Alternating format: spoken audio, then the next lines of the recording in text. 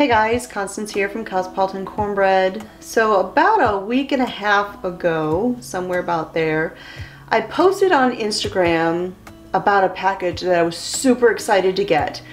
And I said, I'm gonna do a thing, but I didn't share what it was. I said I would share about it that coming week, except I never shared about it. Just kind of forgot, got busy with things. What can I say, I'm human. So, here is the footage that I filmed that very day, moments after I took that photo. So I just got done going to the post office and had a semi-surprise. I had a package that I was expecting. I knew it was on its way, but it wasn't actually supposed to be here for a few days yet, but it was there already, and I'm super excited. Uh, when I showed it to Mr. Smith and opened it up, he goes, teleworking needs to stop. because I ordered some hatching eggs. Oh, I'm super excited. So several years ago, I learned about this breed of chicken called Icelandic and I have wanted to have Icelandic chickens ever since I heard of them. And so I decided, you know what, there's a lot of people who order eggs off the internet and do it with success. And I figured, why not give it a try? So the eggs came in the mail. I ordered a dozen, but the farm that sent them to me actually sent me two eight packs so that there's a little bit of extra space, you know, as a buffer on the side and they sent a couple extra eggs just in case a couple of them are duds or get damaged or anything like that. And so the reason I wanted to get these Icelandic chickens is they are ancient chickens. They've been around forever. They're, they're considered Viking chickens. But what really drew me to them was they are a foraging chicken. They are a chicken that would rather forage for bugs. I mean, you think of all the reasons why people want to keep guineas, other than being a natural alarm system, but a lot of people like to keep guineas for all of the bugs and all of that that they consume. Well, Icelandic chickens are like that. And you also get the perk of the eggs, of course. And now I'm raising from eggs. We're going to be hatching these out and hopefully they all do well. Um, but of course they're not sorted. Don't know if we'll get males or females. We don't know what the ratio will be. And Mr. Smith was like, you know, that would be really terrible if we got all roosters. so I don't think I don't think we need to worry about that, but hopefully uh, the ratio does swing in the hen direction, but we will just have to wait and see. So I don't have a big incubator that can handle all of these eggs, but I do have two small incubators, so I'm just going to split them in half, do eight in one and eight in the other, and three weeks from now, we'll see what happens.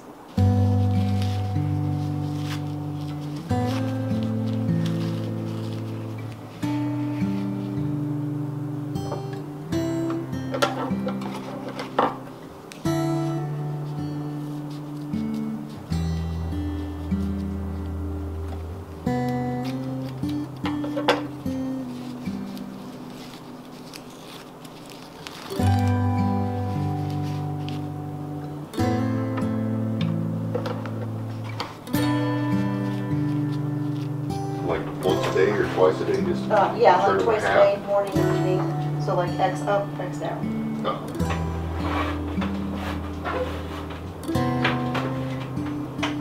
You put that one down there also? You know, just put them in the same spot it's kind of out of the way.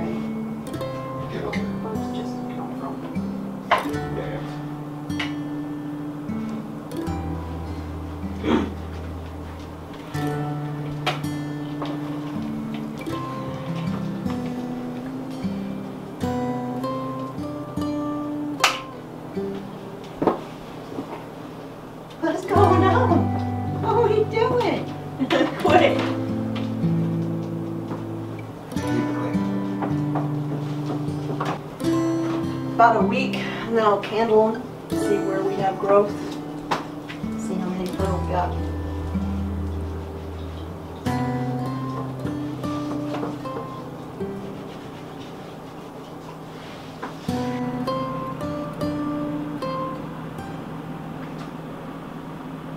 So that day we put the eggs in the incubators and we had received 16 eggs, which is more than these incubators can handle or more than one of them could handle.